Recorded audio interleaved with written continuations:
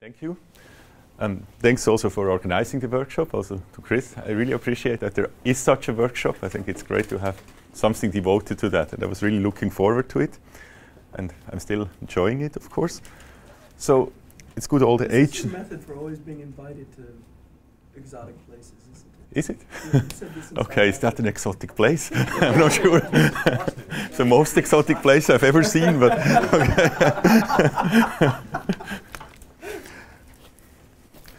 Anyway, I will um, talk about work that was done together with Lydia Del Rio, Nuria Nurgalieva, who is a PhD student in the group, and Simon Mattis, who is a master student also in the group in at ETH Zurich.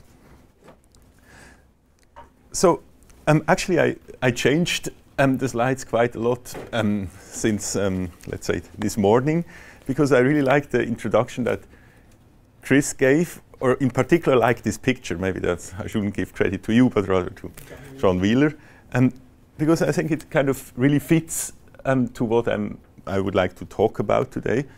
And I should also um, maybe, as an outlook, say that, of course, the whole thing will be directed towards the thought experiment that I developed together with Daniela Frauchiger, but it will not be a talk about that. It will rather be a talk that should go um, like point towards the next step that I would like to take to better understand what's going on there. Okay, so um, I guess you know what this picture means, and I just want to, in this talk, often talk about physical theories. And so the question is, how do physical theories fit into this picture? And one way to see that is to say that we have users of a physical theory. So um, we are all users, which doesn't mean we are not also part of the physical theory, of course, but clearly we are users of the theory.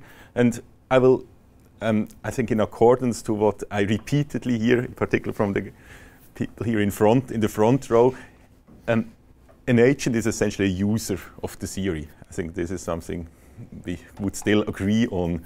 And um, on the other hand, we have the scope of the theory. So the, the theory tries to describe something. Um, what this is is, I think, so this picture really allows me not to use words. It's, it's probably clear it describes something.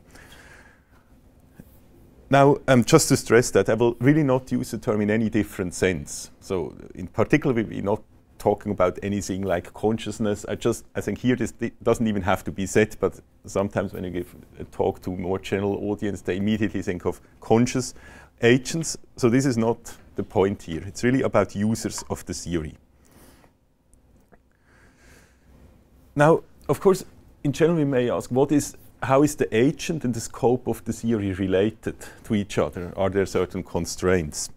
And there are, in principle, um, like two extreme cases. We could say we really regard the agent as one part of this U, and the scope of the theory as something else. Or maybe one shouldn't. Yeah, I mean, it's clearly one part. The, the end of the of the of this U is supposed to be an agent, and the other end is something physical. So they could still be completely separated. And I think this is actually how we use we usually use physical theories. And the other extreme case would be that we somehow say we are agent is part of the world and the, the theory should describe the entire world and therefore the agent has to be part of the theory. But for most theories we have, this is probably not well defined and um, I think Rüdiger gave a very nice example with the betting on black coffee that, for example, in QBism this wouldn't even make sense, as I think you termed it.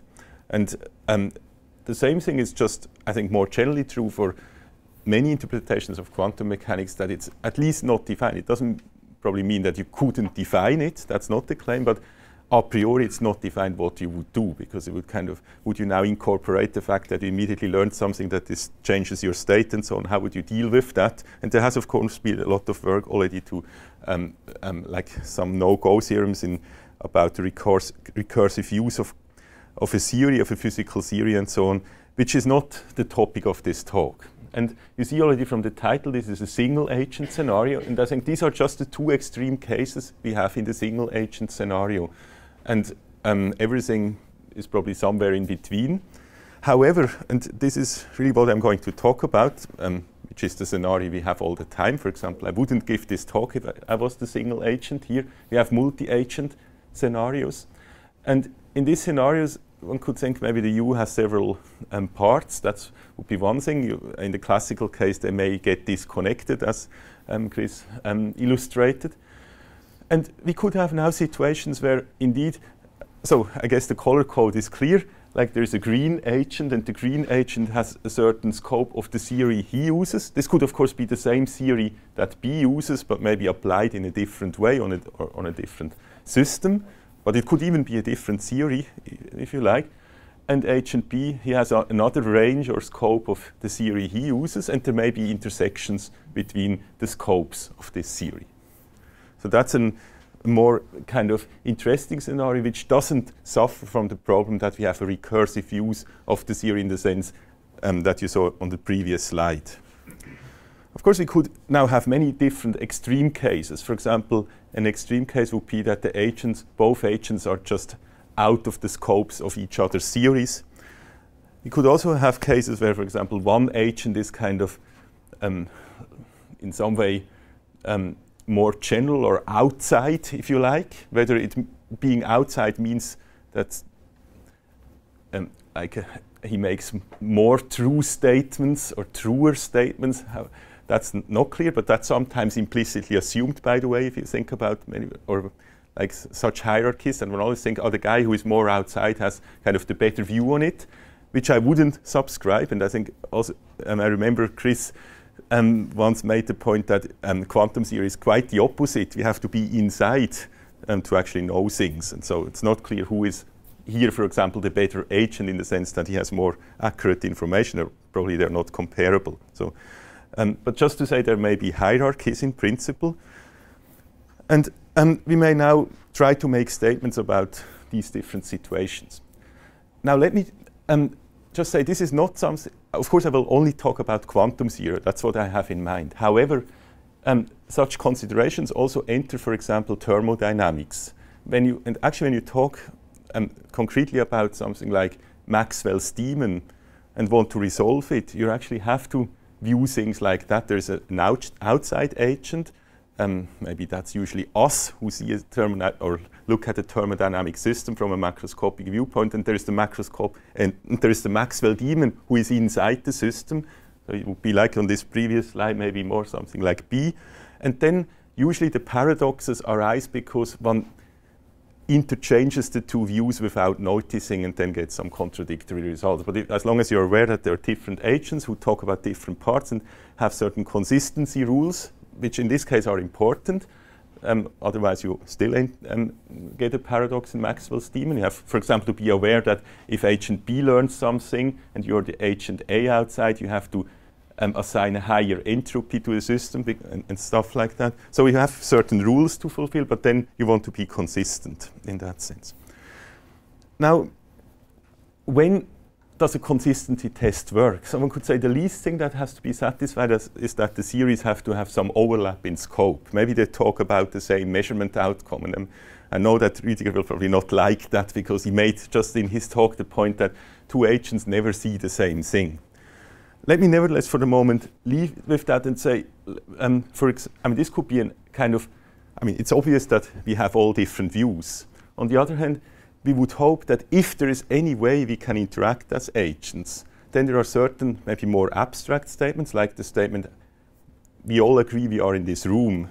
That's a statement which obviously I see the room from a different part than you do, but we can still agree what it means to be in the room or not to be in the room.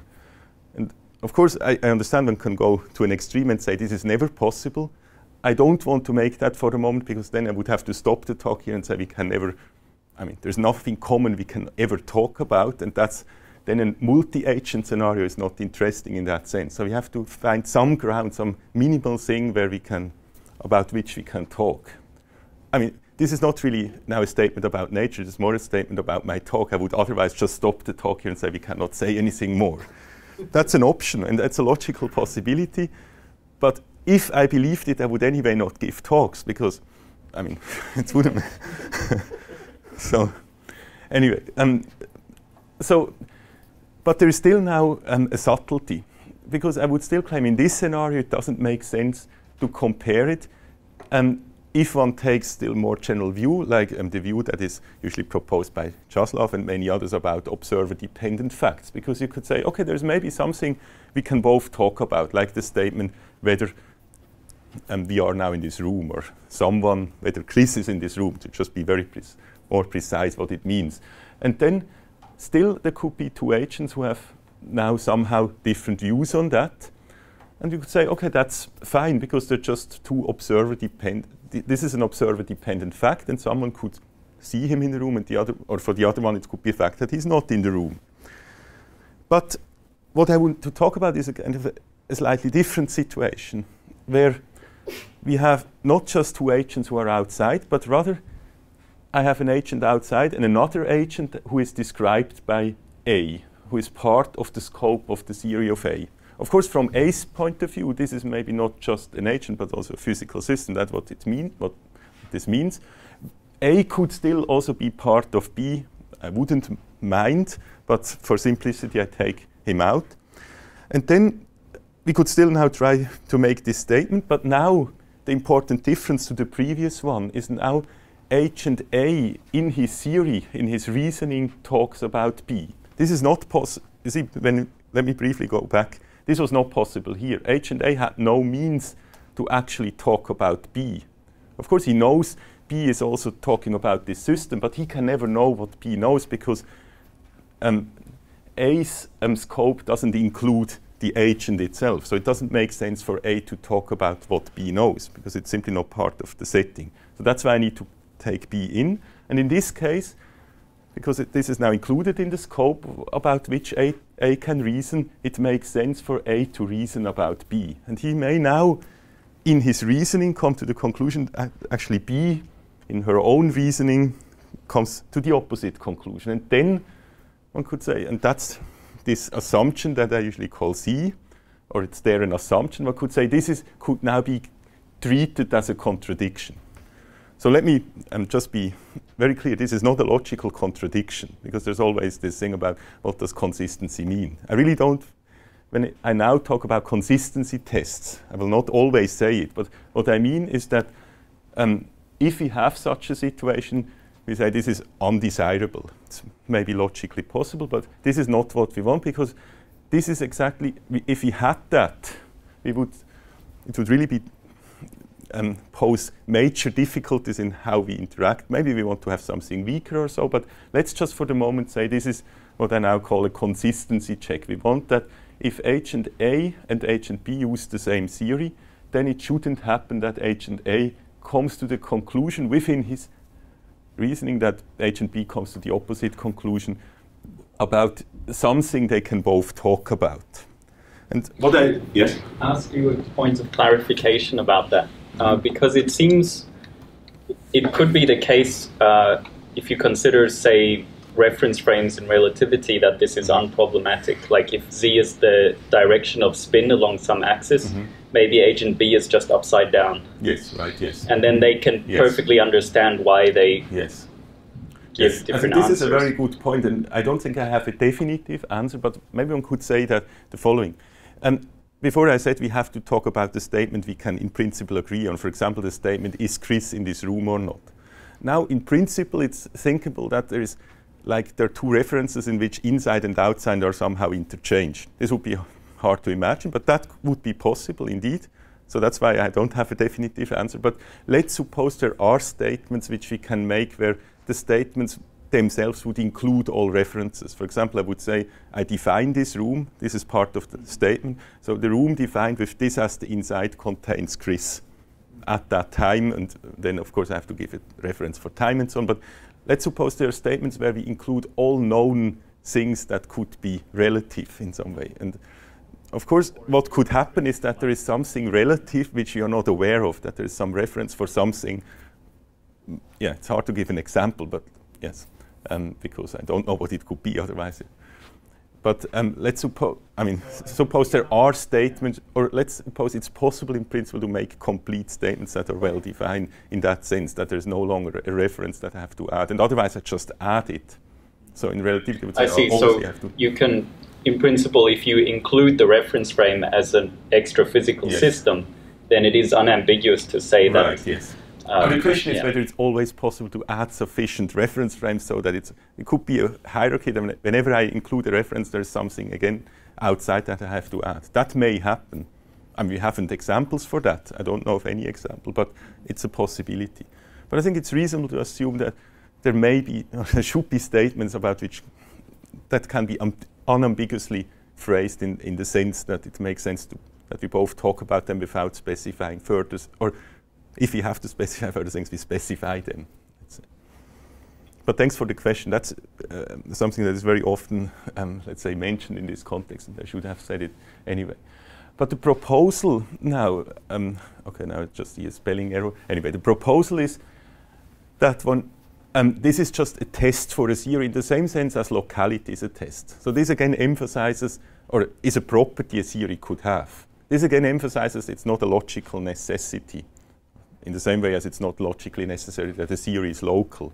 But you can view that just as such a property. Like we have theories and we want to make statements about what feature theories have. And one feature could be a theory is consistent, is agent consistent. Maybe someone finds a better term for that. I don't want to propose um, now something that should stay as a term, but the proposal is that this is something we could just see as a property a theory could have. And I would say it's probably a desirable property, but that's then something one could discuss. It's at least a property we use in daily life all the time, and, and that's certainly a, something one could say.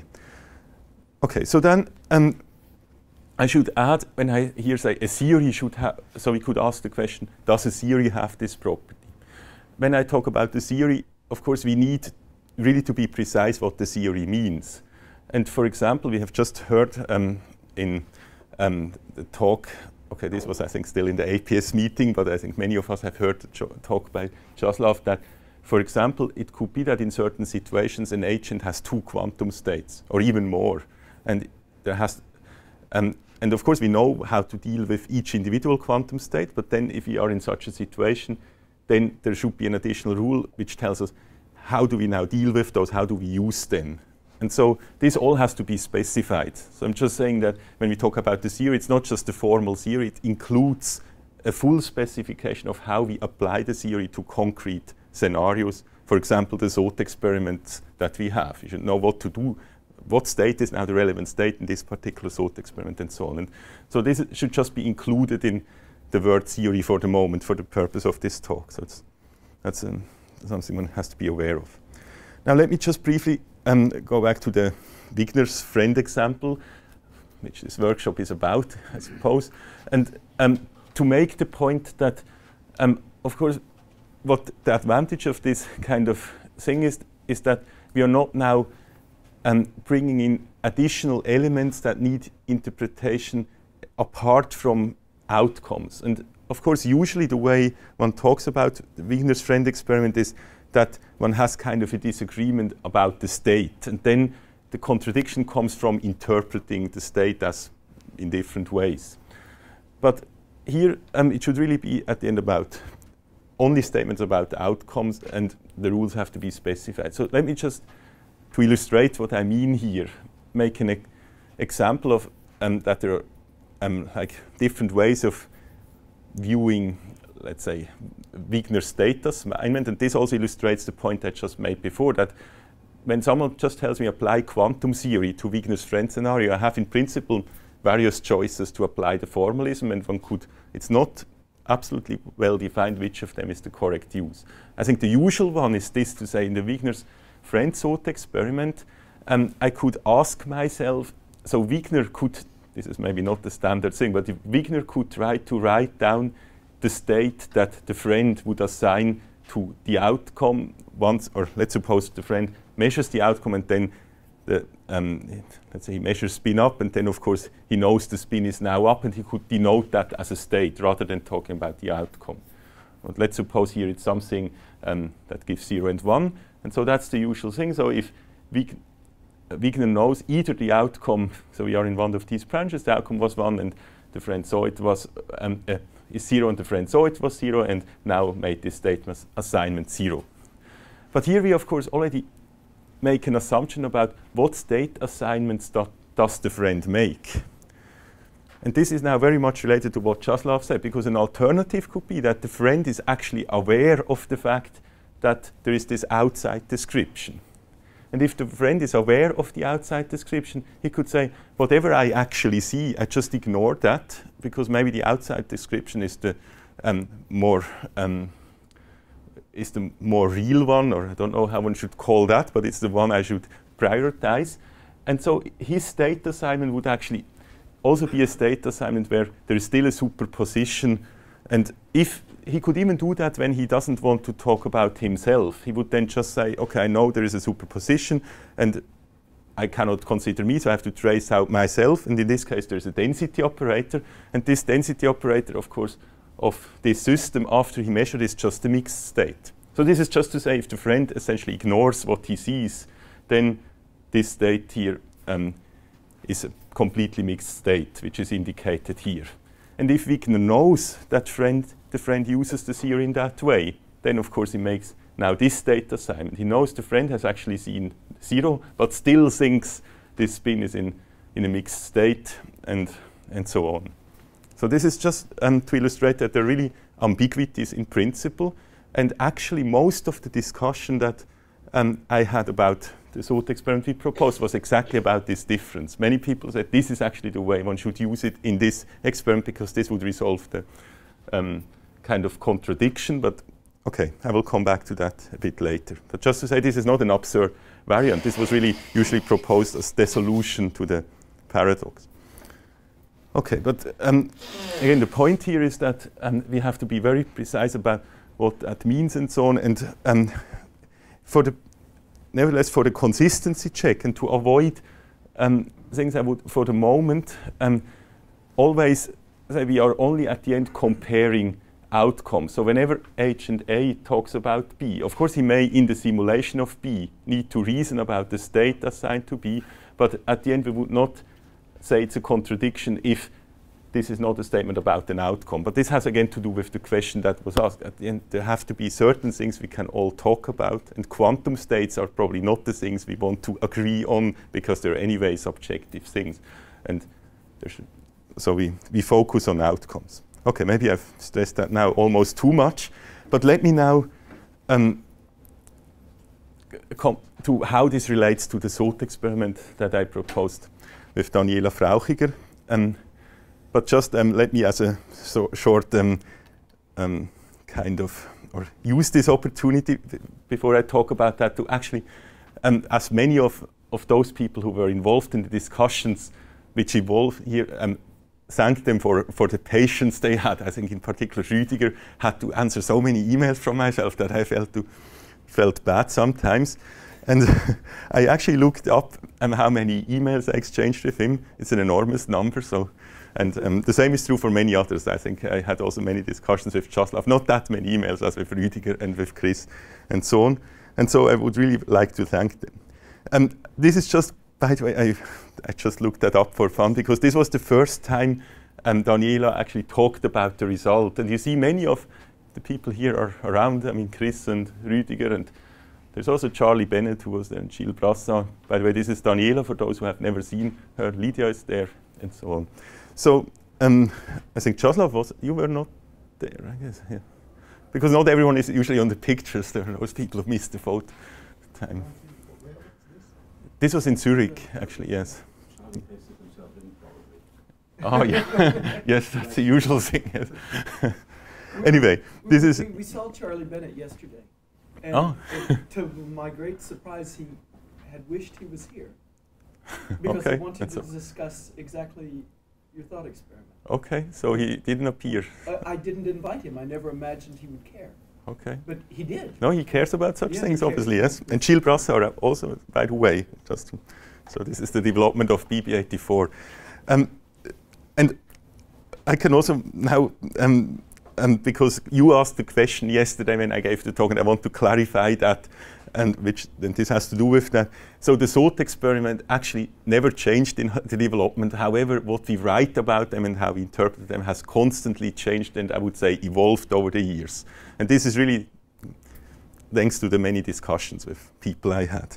And um, so indeed, in the actually, in the original talk, um, it was already single world things, and then in the arXiv paper as well.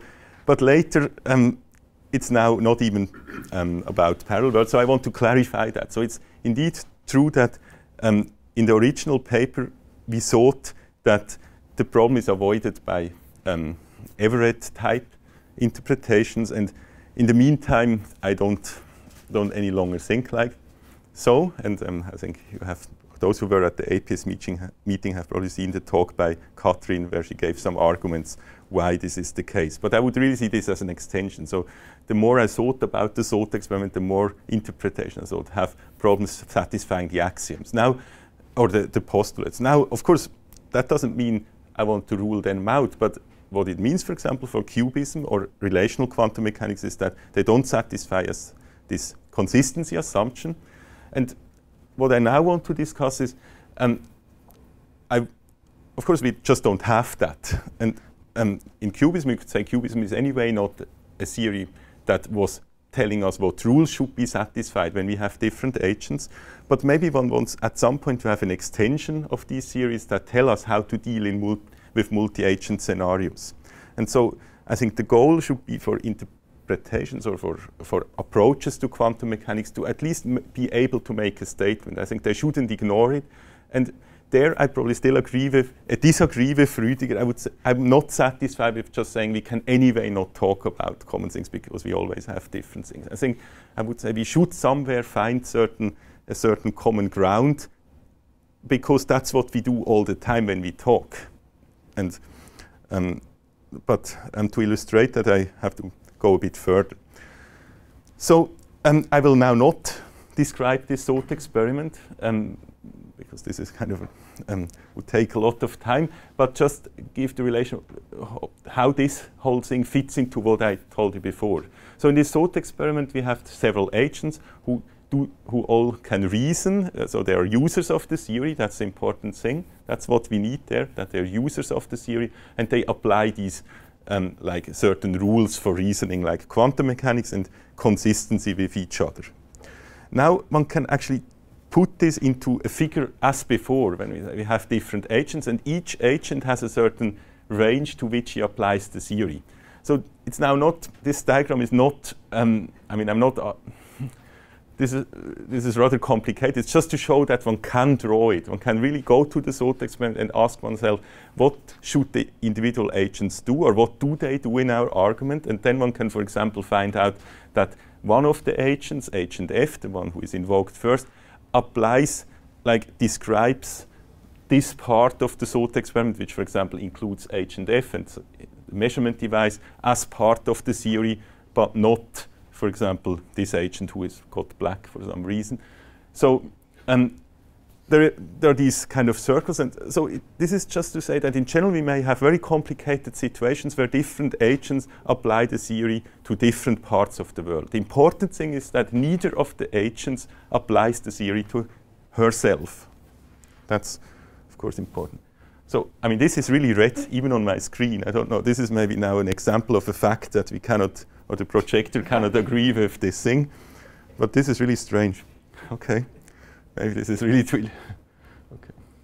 Anyway, um, so just to remind you, because that's one of the important points, an agent is a user of a theory, and I'm now coming to the second part of the talk where I want to make um, like the following point. If in, in the discussions we have heard this morning, and I really appreciate in particular Matt's effort to make things very precise and, and, and to kind of bring order into these interpretations, um, I still feel at the end we are often talking about things which seem like we will never have a chance to kind of really make an operational statement in some way. And i am coming from this side of quantum information where I always try to make things operational. So the question is, can we in an operational way talk about these things? And can we even at the end do an experiment? And of course, an experiment will, um, like a Bell experiment, we put in assumptions and so on. But the proposal I would like to make is what we can do is, and, and this is maybe has now a different focus. We don't now test nature. So I'm not proposing to do an experiment to test nature here. So it's different from what Bell tested. I'm proposing an experiment to test whether actually someone can come up with an unambiguous definition of what quantum theory is and how it should be applied. And uh, let me try to try to make this more precise. So this is a strange type of experiment. So let me again stress that because people say this doesn't make sense to do this whole Wigner's friend experiment actually experimentally. So that's really not the point. The point is to kind of force people who say that um, they understand quantum mechanics to be precise and then see whether things work. The first thing to realize is that because a, an agent is a user of quantum theory, the best way, in my opinion, to think about such a user is to just take a computer. Because a what is a user of quantum theory? He gets some description, some rules, how to apply the theory, and at the end um, make certain statements. Now, these statements don't necessarily have to be predictions, or whatever, but the theory, I mean, if I talk about the use of the theory, then there should, the use should reflect itself by certain things I can say at the end. That's maybe a minimal thing. On the other hand, the computer is, of course, also an object that I can describe with quantum theory. So I have this duality here, which is um, here illustrated. So the reason why I'm now taking a computer as an agent is that it's clear that, and doesn't mix in concepts like consciousness, that it can be the subject and the object in this sense. Now, um, the idea is, um, as I mentioned, that we, we would really take, so the computer should be a user of quantum theory, which means that it's programmed with the rules. It's, it's programmed with what we would do. And if quantum theory is unambiguously defined, one could say there should really be a set of rules that tells us for any description of an experiment what statements we can derive and um, what we can say or what we cannot say. That could also be that. It could be that there's a description, computer decides, oh, I cannot make a statement about it, that's outside the scope of the theory. But should, it should be well defined. That's my only thing. It should be defined what the statements are. Now, of course, to to go to a multi-agent scenario, I have to allow something like this, that I have a description of that in the world some other agent gets an input and does something, and I um, so the rules should include rules to reason about um, that situation. Because, um, yeah, this is just because I have multi-agent scenarios. I could, of course, now exclude any such things, but then they never talk about, they can never communicate, so to speak. So that's, you could say that's, that's the minimal thing we do when we communicate, because of course, when I say something to someone, I first of all just know that he now got what I said, and or I know he said this, but then I want to kind of make sense of it, so I have to kind of um, go one level level higher in this sense. So that's always necessary. Now, um, the, the idea is to make this so precise that we have at the end really a program in a computer, in a language, in a language in which we can program computers where we just have this set of rules and can describe everything. And at the end, we have a certain set of statements. And whether this, so the statements um, can in principle be of any type, but I have now certain assumptions, or I will now, of course, at some point have to specify what the rules are. And these rules will kind of make sense of this statement. So you could say, okay, what does certain mean? What do you mean by that? That's irrelevant at this point because the rules I will now tell will kind of in some way interpret that in the following way. So essentially for the thought experiment that we are considering, the computer should roughly follow these three rules. And so what are these rules? So one rule is, is really like um, in this particular case usually um, the Born rule in the case of probability 1, which makes it easier. This is just a simplification that we don't need to put in any interpretation of probability. That would just make it much harder to kind of, how would you program that in such a way that people agree what it means and so on.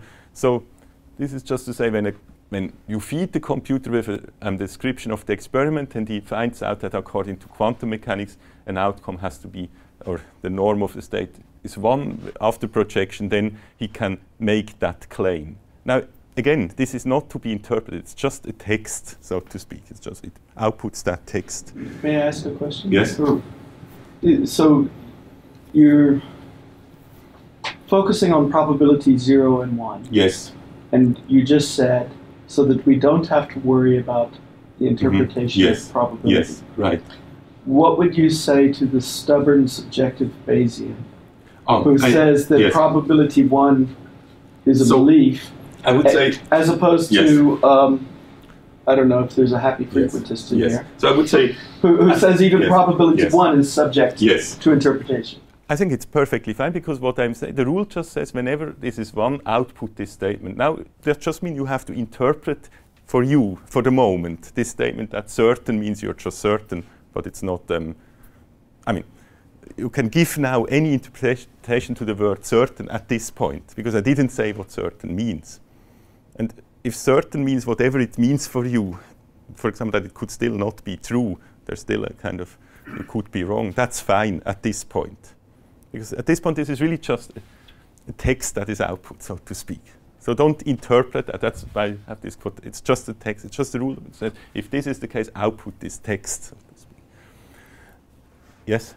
So uh, you, you've managed to confuse me again in response to what Chris said. I'm because if so, it sounds like you're basically proposing that there's some program, I some Python script I can Yes, write that right. takes one string of LaTeX Yes. and outputs another string of LaTeX. exactly. yes, exactly. So far. So of course, that's then- not all. So, I mean, Uh, but so, but what, what it's doing here is taking in a LaTeX, Yes. you know, one string of LaTeX Yes, that has exactly, a backslash yes. pi Yes. underscore z, yes. so on. Yes. Um, Maybe I should briefly continue then because I guess that, I know what then I don't understand the importance of probability one at Yes, all. yes. If you're leaving Yes. certainty up for further interpretation At this point, it's indeed not clear. So let me briefly show you the next two slides and then come back to this. Uh, I mean, it has to be. No, so you're right to ask this question because indeed it's not clear. I should. Um, so at this point, it's just a text, and also here I could say if you have such a situation, of course, that would be itself a text which is now illustrated that says um, the computer knows that. Then this text is transformed into that text. Now, these are just rules, but now there's a third rule and this is now still just the text, but this rule interprets the text in some way. So that's the.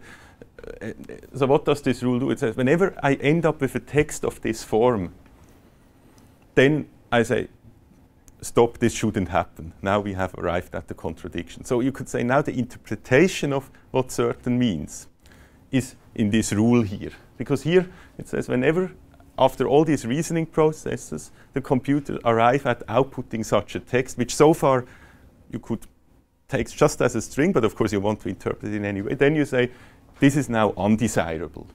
Now at this point, Chris could come and say, okay, I'm, my interpretation of certain is such that I don't buy this rule. I, I'm happy with that thing. I don't stop. And that would be the answer now. I would say that if you really insist on saying probability one doesn't mean, I mean, let's say if you say something happens with probability one and you, at the end you see it doesn't happen, you're fine. You think, okay, that's okay. And you're allowed to do that, but that would just mean you don't um, put in this rule. Now, um, of course, one can now debate whether this is a useful rule, but this is the point where where things enter, and I think this is also the answer to your question, because now one can say, if you, whatever interpretation of certain you have, if your interpretation of certain is so weak that you think this is not a problem, that it's unproblematic to make this statement, I'm certain that z is zero, and I'm also certain that z is not zero, then that's fine. Th- that's the point where you have to decide, essentially. But you still seem unsatisfied with my statement. Well, I, I, I, I'm mm, still not understanding really what this rule S is about because it looks like you're just logically checking the syntax of the statement. Yes. It's like it's like getting a syntax error when I type a line into my Python interpreter. Uh, it, it seems like Yes. all that, that that's all that this rule is checking. Yes. So It's not even something as sophisticated as what the idea?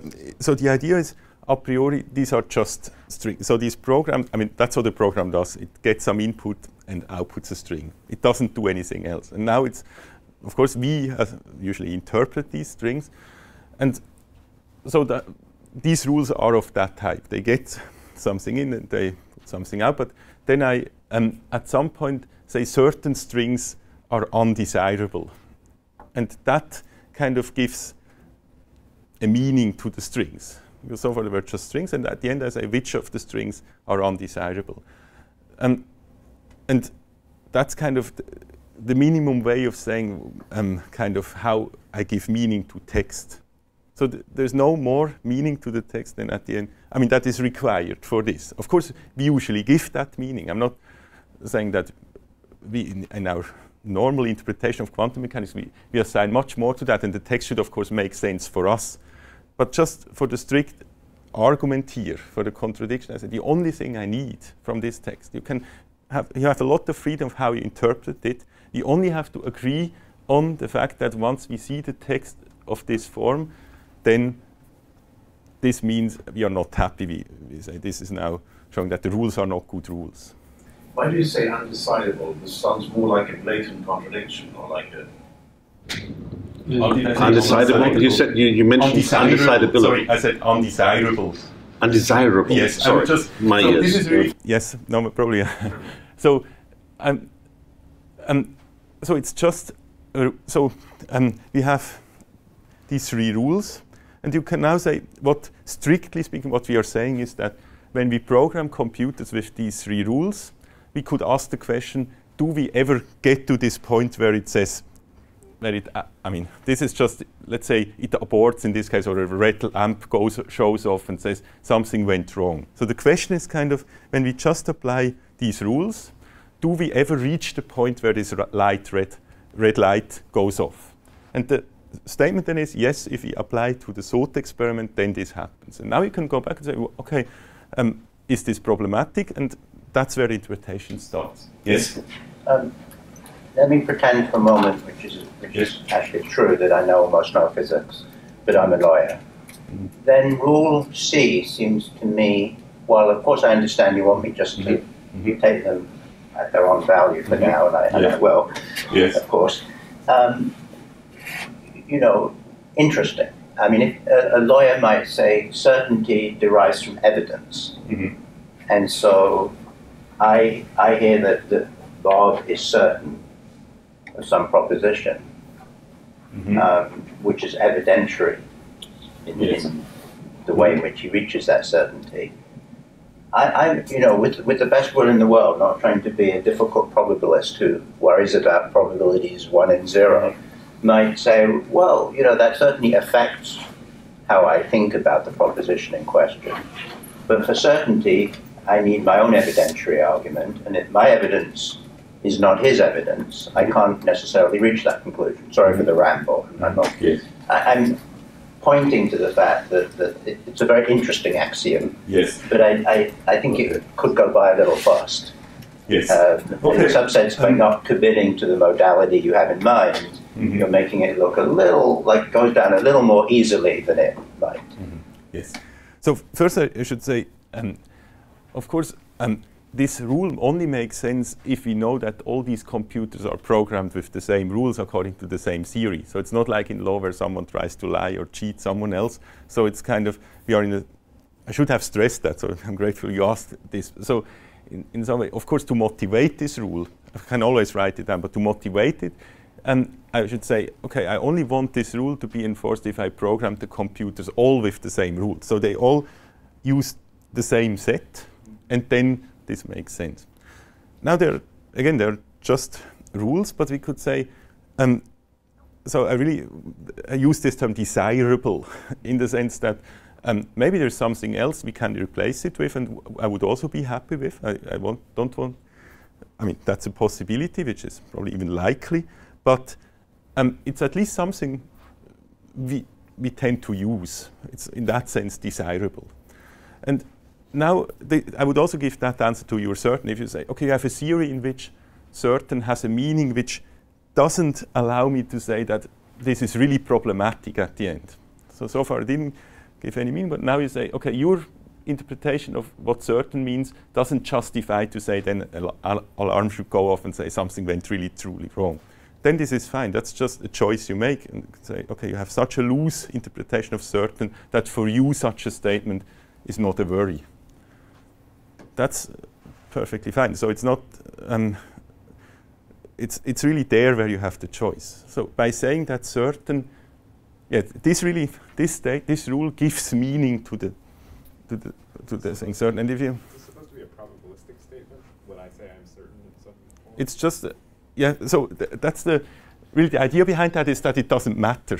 The, the idea is that take any meaning of because the rules, you see, the different rules refer to that. So whenever you have that, it calls it certain. It's just the word certain. I could call it blah. I I mean, feel like what, what work does that do for you then?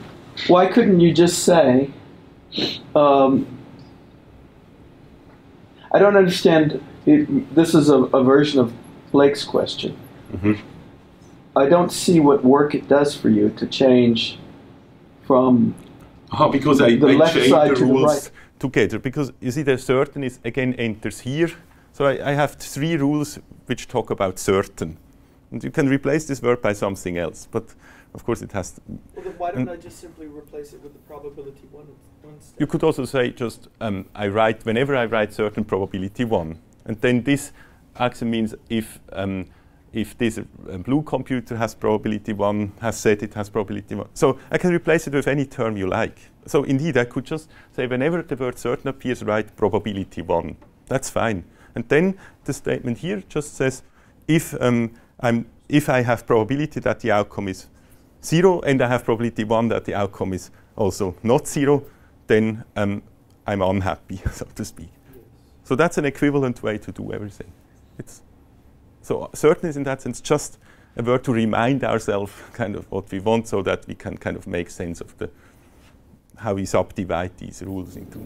Somehow I would like to support this. I mean, if you have, no matter what the fact of the world is, I mean, Mhm. of what, what Yeah. objective is, if you have a normative rule that I'm certain that A is true and I'm certain that A is false, you are unsatisfactory.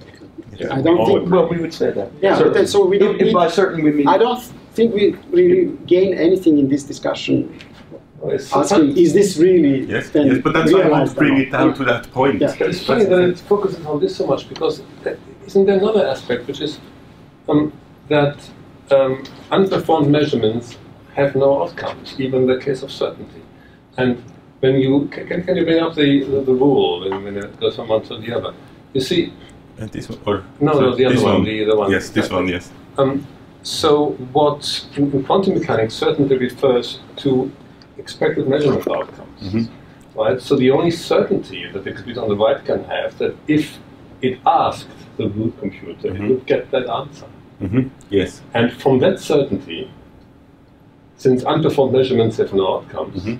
from that certainty you cannot automatically infer that that is the, the Mhm. that, that, that is actually the case without asking. Yes. So basically, you you you uh, jump to the conclusion without asking, and th- thereby ignoring that unperformed measurements uh, have no outcomes, or that measurements actually have effects. Yes. And actually, in this whole thought experiment, that is is vital because if you did the experiment, if you did ask, Mhm. you would destroy your whole your, your whole construction. Okay. So that's a perfect example why Yes. performing a measurement has an effect and matters.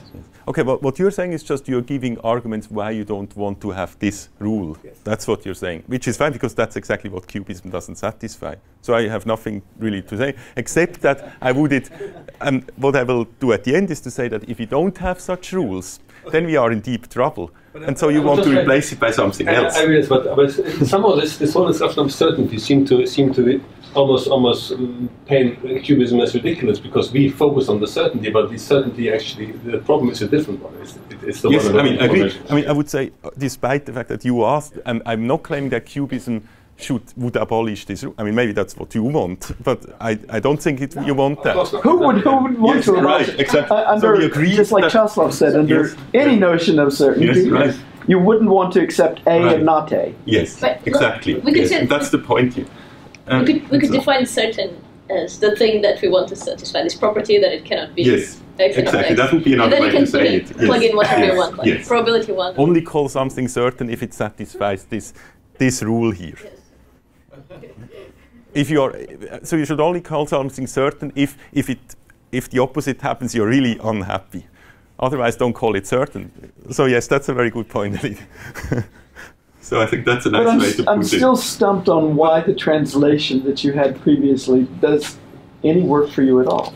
This one? Any conceptual work? Ah, no, this is just um, here on the left-hand side we have elements of the zero like the U and the projector and at some point I don't want to always carry that with me because I chain the rule. It's like logical interference where I have like pieces of rules and I so but of course I could write just here I'm I have probability so the probability that the measurement has outcome set is one. That would be just another phrasing. This that wouldn't change anything, it's just another way of representing the same kind of information. Um, would, would, it be fair to say that I am certain that dot dot dot is just the form that the outputs of these concluding machines takes? Mm -hmm. So, um, right, so, so it's, it's yeah. sort of yes. a wrapper saying this machine has concluded that or something like that. Yes, you could. Yeah. Yes, you're kind of talking about. The, I mean, which means the machine. And then you want to yes. go to. You have yes. to go to the yes. second level. So this is. But just to um, make sure we are now again on common ground. So I agree with Rüdiger that what um, QBism would not uh, is this rule. So that's, uh, I think we are here on the same. Well, and whether you call this now unperformed measurements have no outcome, there I'm, I'm less happy with this, and I will come back to why. Um, so let me come back to that because I don't, I wouldn't agree with that statement why it's not true. But I agree that this is the problematic thing within QBism and not that one. That's I perfectly agree with. Anyway, so um, now, I think, what's the time, by the way? Or should I? Because I don't. Okay, so I'll just. I had some slides about the, how we analyze the thought experiments, which is um, just to say that then these rules are applied. But I think you can imagine how this is done. So I will.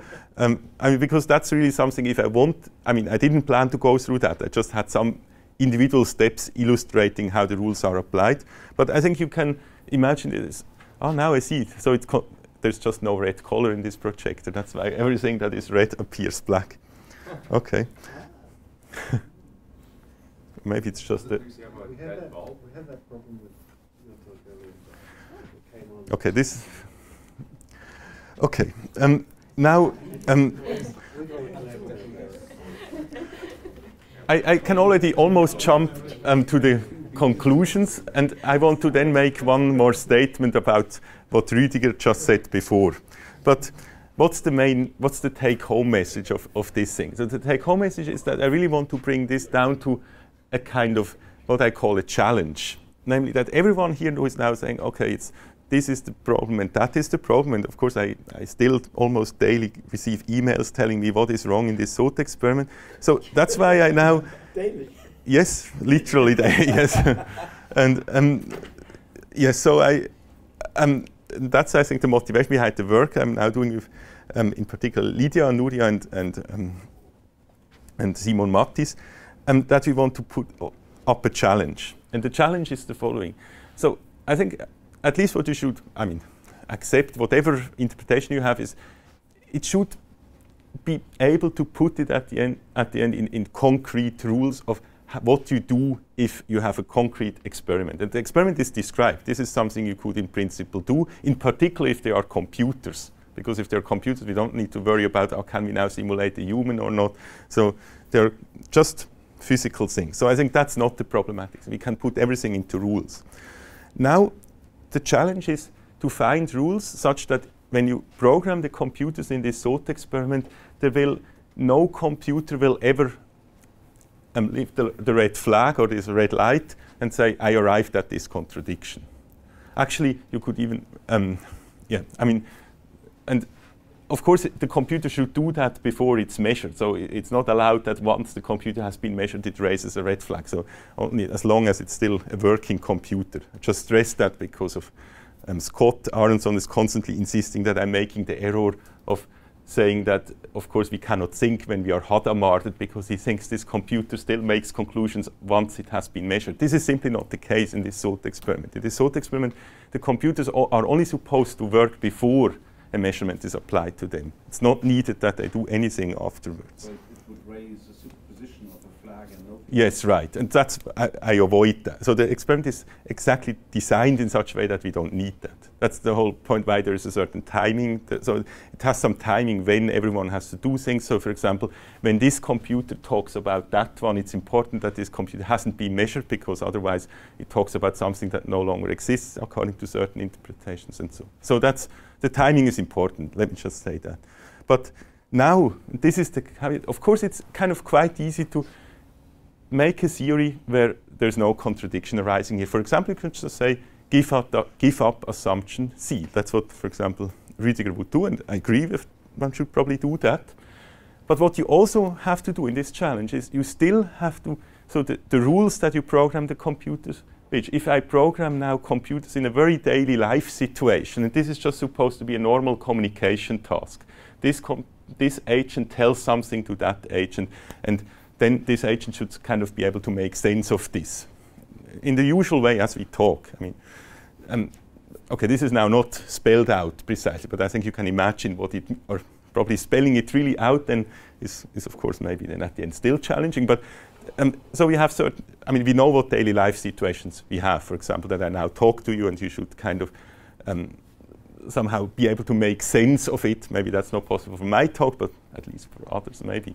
So this is the um, kind of the counter check. So it's not sufficient to lift just something and not replace it. You have still to be able to say, um, what do you replace it with such that we don't get empty statements in daily life situations. And this also now is something I wanted maybe to relate to the talk that um, Katrin gave in, in the APS meeting about many worlds. There are these extreme forms of many worlds where you say there is branches don't really make sense. It's just at any point in time there's a wave function and there's no other like a wave function or the branch or the world here is not connected to anything in in the second or to the second in the past and so on. In this case, it's not clear what statements we can still make other than the type of statements like, um, I know at any point which worlds are possible. That's then the type of, statement. but that's not a statement that would allow me to do anything I do usually in daily life, probably. And so the challenge is really to, to still have enough structure and rules that allow us to do things that we usually do and nevertheless not run into a contradiction. That's really the tension. I think that's the challenge, which hasn't, I haven't seen a solution to that. Usually, um, people just say what, to, what is a bad assumption, but they would then not be able to any longer do that because, just as an example, typically it said, um, if you have, um, just don't talk about um, things where you have interfering branches or where you have interferences or, or superposition. But of course, if you have now kind of an interpretation without the collapse, then we have all the time superpositions. And now, okay, you could say, oh, but they don't interfere, but then you have to, again, specify what does it mean that they interfere with respect to which basis and so on. So as soon as you um, are asked to really make it work, it, it needs to be specified, and then it's, it's not clear what actually the differences are. Although seem, it seems obvious that this is a much more complicated situation than here, to really spell out what is now not allowed there and here it is, seems to be a very hard task, which at least I haven't seen or a way to solve. And that's where I would like to end here, because I would really love if someone could kind of solve this task, because I think this is somewhat a necessary thing to do, because if we want to claim that we understand quantum theory, we should still understand it in a way such that the things we do in normal situations work. But of course, we don't want to run into a contradiction. That's all. Thank you for the attention. Yes? I have a question regarding the statements of, of the computers when you say they need to make them before they are themselves measured. So if mm-hmm. your friend one computer makes this prediction of Wigner will definitely see fail that is as good as him revealing the result he actually observed before he's measured, which mm-hmm. I think should collapse the superposition state with respect to the agent who will measure him. Uh, so, okay. I'm, I'm not sure now what you mean by it should collapse anything. So I'm, of, of course, if now you're probably referring to a collapse model or. No, but if Wigner has a classical record of the actual result, the uh-huh. probabilities he oh, measured. Okay, like, let me correspond to When I say the computers output these things, then of course the idea is still that if a computer is, for example, in an isolated box, then this output remains in this box. That's a part of this setting. So you could now see, then you don't see it, but the computer would itself, so no one reads this outcome, but the computer, if it reached the contradiction, could still So let's suppose the box explodes in case it gets a contradiction, but otherwise it doesn't reveal anything to the outside. So it's not that, yes, I should have, so if this computer makes a statement, for example, this guy will measure okay, this statement remains in the box. Only if the red flag is raised, let's say, then the box would, that's the only information that would, would be allowed to leave the lab, if you like. Anyway, in this thought experiment, it's usually that compute that uh, But that's- the contradiction. if you have then this in the superposition of the coin state, these Yeah. two statements like will see fail and might still Yes. see okay, and then you like recom like should this effect you, you can then never read this out. But it, it will, yes, it will never be read out. Yes, that's right. I mean, that's the really the idea of the isolated box, and it has to remain isolated even when these computers act as agents and do their reasoning. The reasoning stays completely in the box. Then I'm not entirely sure where the contradiction is supposed to be seen. Okay, I also know, don't know where the contradiction is. It somewhere arises because there are statements that at the end, if you combine them. So yeah, but don't you, you don't have this, no, no one has the statements. That's the point. I mean, you can combine them from an Okay, from an in the abstract. usual analysis, which I now didn't show, um, the contradiction arises at the end in the last computer, but not because the last computer has actually seen that thing. But um, actually, maybe this is an opportunity to briefly also give an answer to Rüdiger, who says unperformed measurements don't have an outcome. It has maybe to do with that. So I think it's indeed true that if you take this assumption C, you could say, um, let me just give an example. I ask Rüdiger something like, do you leave today um, to the airport? And then he gives an answer and says yes. Now I could say, do I now know whether Rüdiger will leave today? I would say, now I would have to ask him again because I'm just certain because he told me that in the past, so I'm certain, but actually I'm only certain. I, I have to ask again to really now confirm whether it's certain. So I would have to measure you again. So the question is, when is it sufficient to be certain? You would now say, no, this is stupid, you already told me. But I could say, no, but I'm, after you told me, I'm just certain. It's not that I, so in some way you would have to specify in this program, when is it okay to no longer measure and really be happy with what you told me, and when would I have to consistently ask you all? I think there's a simple answer. Whenever, whenever the um, asking the question makes a difference. So, for instance, you're asking me might might change my mind about it. Yes. That's, Okay, the, yes. that's the kind of way in Yes. it matters. Okay. Not, not that Yes. from the first to the second answer Yes. I might change Okay, my mind. that, that is a good Very answer. act- and so, and we have actually rules. We have quantum mechanics that tells me whether asking the question makes a difference or not. Yes. And in this case, it clearly does make a, a difference. but we start because okay, because, that's a- that's because asking the question, getting the answer, will actually change the, uh, change the entire game. This is why you have to have to sort of uh, have this sort of Mm-hmm. this this way of phrasing C because you, you, you cannot afford to ask the question because asking the question makes a difference. So this is where you have this why why you have this this this way of thinking, just basically speculating about the internal state of your other agent. Isn't that true?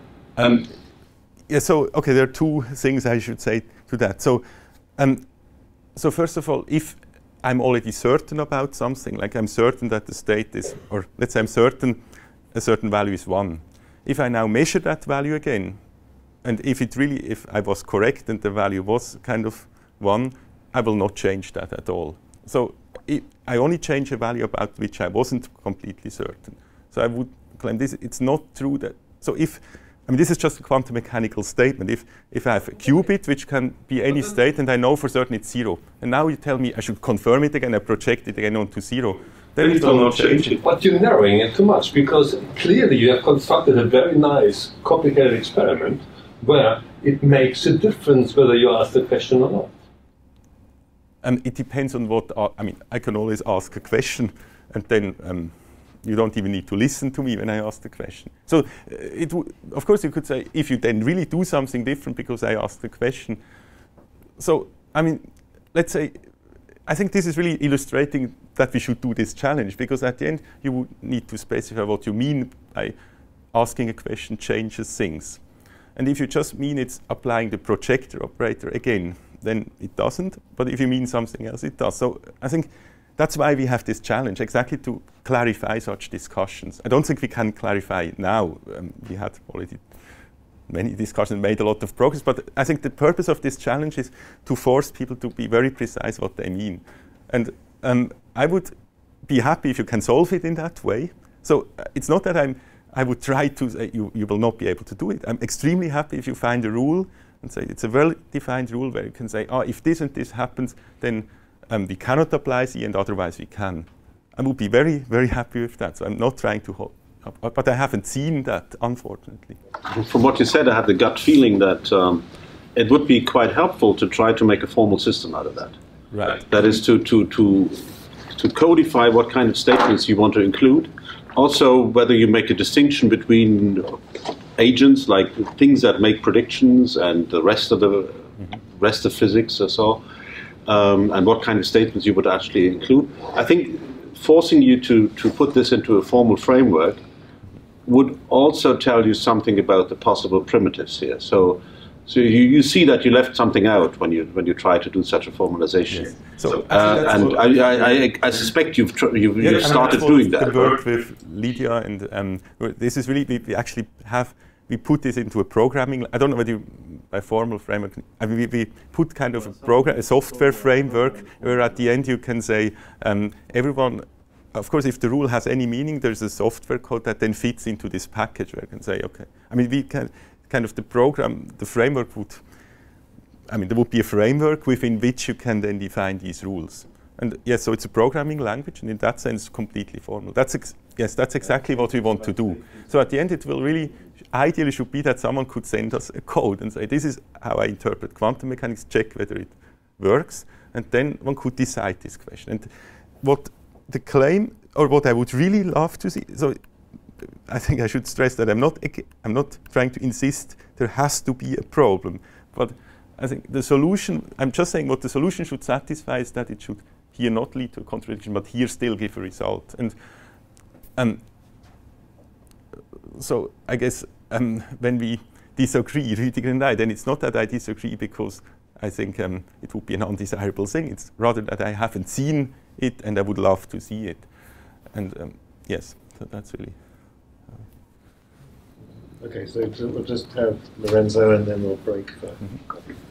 Yeah, so I don't know if this helps to yeah, win the challenge, but so at least what what troubled me and what I tried also to say this morning is that in this case, assumption C is something that, according to me, is not very natural. That you assume that you can promote another certainty, even if that certainty happened, let's say, in the past, and in the while there is the erasure about that certainty being erased the information about the certainty be erased. And so if you change the assumption C by saying, you know, I can say that uh, this certainty at time t0 becomes my certainty at time t1, mm-hmm. modulo there is no erasure happening mm-hmm. uh, about that outcome, then you wouldn't fall into contradiction. Because, uh, for example, Wigner Bar couldn't made it. Oh, actually, um, I didn't say that, but I'm grateful you asked because that's indeed often a concern. So Actually, it is the case that whenever assumption C is applied, the assumption C refers to knowledge that is still around and could therefore be checked operationally. So for example, um, I didn't show this slide but um, before, but this is an instance in the thought experiment. And all instances are like that, that for example, the green computer says something about the blue one. Now, um, the time at which it does this interference is before the blue one has been measured. So it's really talking about the content, if you want, on the screen of this computer. So let's suppose the blue computer shows something on the screen. Later, the blue computer will be measured. So that's probably your concern, but that's happening later. But before the blue computer is measured, the green computer makes this inference, knows what is on the screen of the blue, and says, okay, now I know the blue computer shows this on its screen, let me promote it to my own knowledge. And only then, after the green computer, so to speak, has saved this knowledge, so it's like you could see it as a memory of the blue one. here. I mean, that's just a way to phrase it. But only then the blue is measured. So it's important that in the C, if you, I didn't now specify it with times, but indeed it's restricted to such thing. It's not that I'm saying, oh, because I know you were certain a year ago, but in the meantime I've forgotten, that's why I do it. It's really, I'm certain now that you think that, that's why I think that as well. And if you go through the thought experiment, you will see that whenever I apply C, it's about knowledge of the other that is still could be checked. You could stop the experiment at this point and see is it true that what the green computer thinks about the blue is correct, and that would be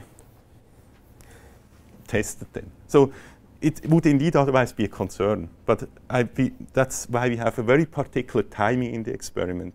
So it's, it's really important that you do the steps in, in a particular order. It's not just that you can, like in the Bell experiment where you do, so the order has to be very particular and it's like in a chain.